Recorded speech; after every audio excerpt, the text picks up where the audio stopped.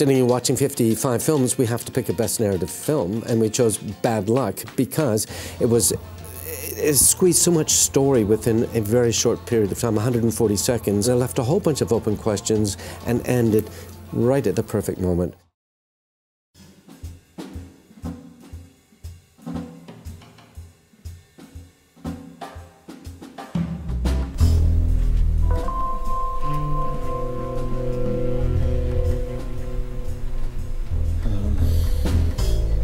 Just a regular Tuesday.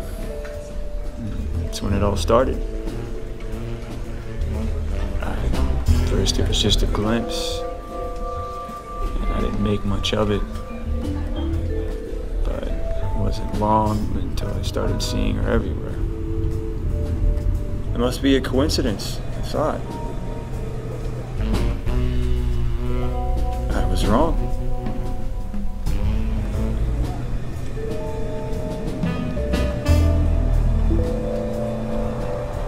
You got to consider yourself lucky to run into the same person more than twice in this hell of a city.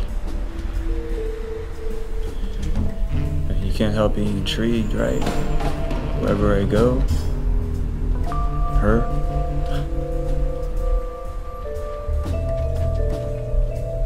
I never thought she noticed me.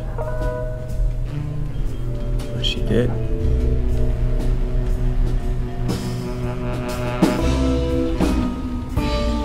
That's when I ran into you. Listen, I'm innocent. Do I look like a stalker to you? This is all just bad luck.